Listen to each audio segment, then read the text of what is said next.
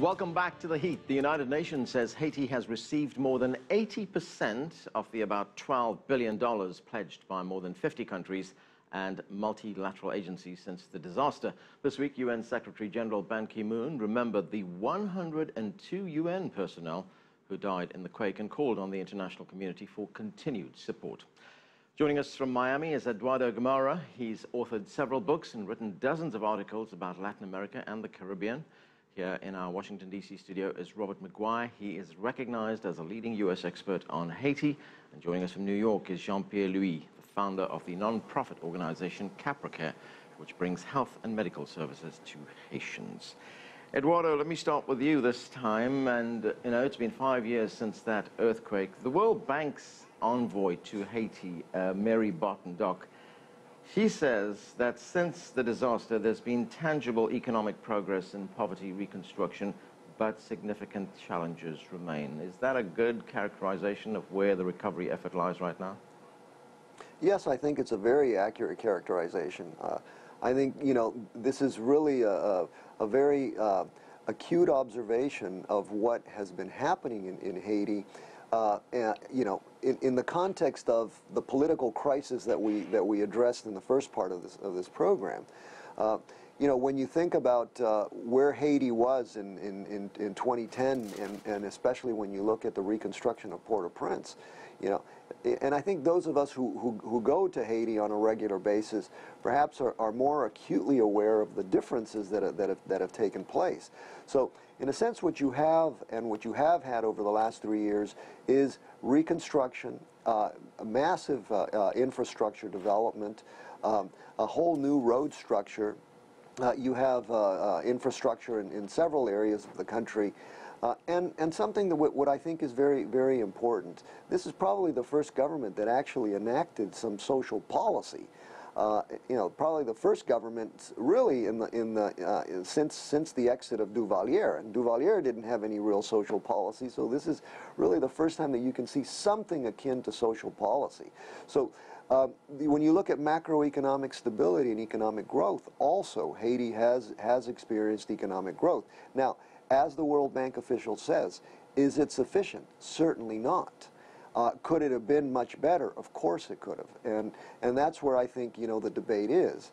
Um, and, and so, you know, overall, I think uh, if you look at, at Haiti, I think, you know, it's better to look at what has been accomplished in the context of, of you know, that horrible starting point than to, than to simply dismiss any kind of, of progress, uh, which I think has been the tendency, unfortunately, on the part of most media. And Robert, what is your view on the reconstruction and recovery effort? I mean, is there still a big international presence in Haiti? Well, I, there is, but um, you know, many of my uh, economist friends at the university speak of something called an aid bubble, and I think much of what we've seen in Haiti over the past three or four years is a result of that bubble. And the question is, will the bubble burst? And with organizations moving away and aid amounts diminishing, um, then perhaps we'll see a slowdown. When you say aid bubble, you mean there's too much aid going in, or? Uh, well, the, the, the money going in creates kind of this bubble that right. can burst, um, like a housing bubble kind right. of thing. Um, so one of my concerns is Eduardo mentioned the social programs, and, and I think Martelly's programs are a vast improvement over Duvalier's social programs, which consisted basically of throwing money out of a moving car.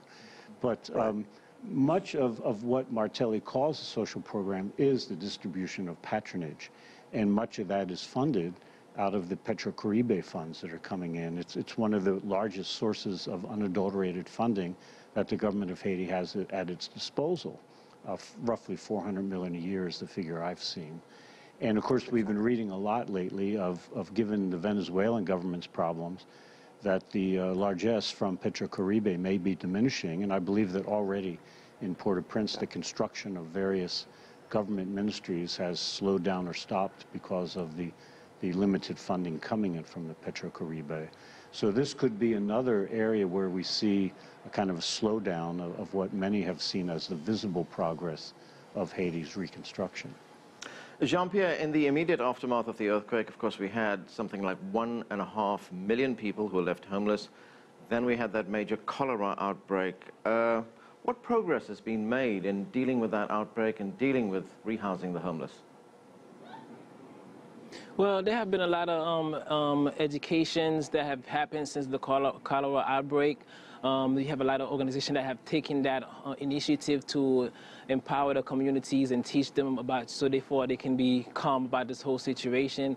I mean, it has been a lot of stuff. It's just, you know, like um, one of the guests mentioned, as you go through all the obstacles and all those challenges, there have been many successes.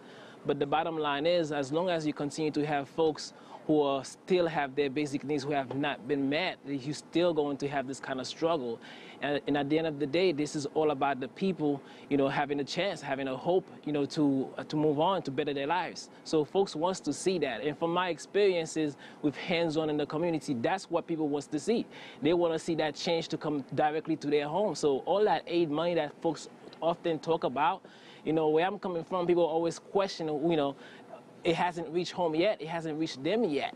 So that's been part of the struggle for a lot of folks. And what we're hoping right now is, you know, as the struggle continues and as people, you know, making their best efforts from, from everyone from like, you know, organizations like CapraCare to the government to other um, active, you know, um, players who are trying to push this effort is that we hope that this won't be a setback, but this will actually be a pivot to um, better outcome. That's what the folks are looking for, and that's what I'm here to, you know, also as a, you know, um, stakeholder in our country that we are looking at from the diaspora's perspective as well.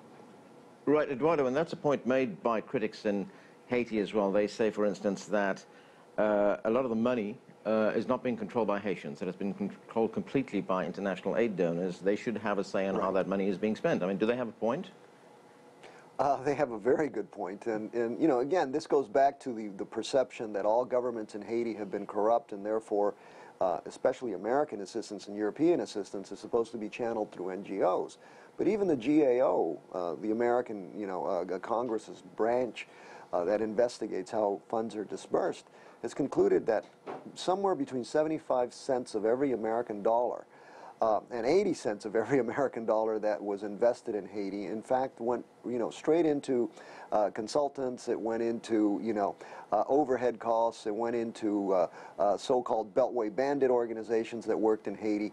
But you know, most of that didn't really remain in Haiti, and I think this is, in fact, uh, Prime Minister Lamothe had a uh, had made a, a, real effort at trying to address this question with with the Europeans and with the Americans, and fi figuring out, you know, how can we work on on on uh, on a different model of, uh, of assistance that uh, that in a way you know uh, uh, trickles down more to, to Haiti. And this is why going back to Bob Maguire's point especially about Petrocaribe you know Petrocaribe didn't have those those uh, those restrictions. It was just basically you know giving money to Haiti and trusting the Haitians to uh, uh, to spend it. And they nine out of every ten projects in Haiti are Venezuelan funded Bob's concerns notwithstanding, you know, I think we really need to look at how American assistance is dispersed in the context of countries like Haiti. If I could uh, jump in there. Go ahead. Um, and, and I think many good points have just been made by, by the two uh, preceding speakers. And, uh, but this goes into a bigger picture of the reform of aid effectiveness. Um, Rajiv Shah, who is stepping down uh, at the end of this month as the USAID director, has set a goal that 19% of USAID funding going into Haiti should now try to go to Haitian organizations. That's a very small amount. So much of that money is, is lost between Washington and the people who are the intended beneficiaries by those who capture it along the way. So, right. you know, when Haitian people see, you know, these billion dollar sums of aid, they expect to see something that will come into their lives. And the reality is they see very little of that that Very affects them personally. Right, and the point that Eduardo makes is that a lot of that money makes the round trip, leaves Washington, comes Absolutely. back to Washington. The other thing, Robert, is that, uh, you know, sometimes aid organizations may have the best of intentions, but on the ground it doesn't work out the way they intended. I mean, for example, you know, there's a housing project in Haiti, mm -hmm. but all these houses built, they're standing empty because there's no infrastructure, there's no water supply, there's no electricity. You have a South Korean uh, project built an industrial park very far away from the people who were affected right. by the earthquake. Uh, aren't these missed opportunities? There are many missed opportunities, um, starting with the fact that at the time of the earthquake, some 600,000 Haitians left Port-au-Prince, but they went back to the countryside, which has been underinvested for decades. Port-au-Prince has been the center of all investment virtually in Haiti, and that has continued. But I want to take an example here of something else. Um, earlier this week, the State Department put out a release that some 77,000 farmers have been assisted by U.S. assistance since the earthquake in improving their crop harvest. This is very, very important. However, if you look a little bit beneath that, you see that this was done as a result of development projects funded by USAID to the tune of more than $100 million. And you just have to wonder what is the sustainable aspect of this once the money stops, once the AID contractor goes away, and you know the, the entire infrastructure that's been established is no longer funded. So the issue would be how would you channel that funding instead of to an NGO based in Washington that's going to capture so much of that money in the first instance, to a Ministry of Agriculture in Haiti who can make it probably go a lot further and make it sustain itself. This has been a huge development right. challenge in Haiti, and in part because the government of Haiti has not been trusted, rightly or wrongly. All right, we are going to have to end it there. Gentlemen, thanks to all of you for joining us. That's all the time we have for, but the conversation continues. Join us on CCTV America's Facebook page to comment on this or any other show, or chat with us on Twitter at uh, CCTV underscore America. I'm Anand Naidoo in Washington, D.C. Thanks for watching.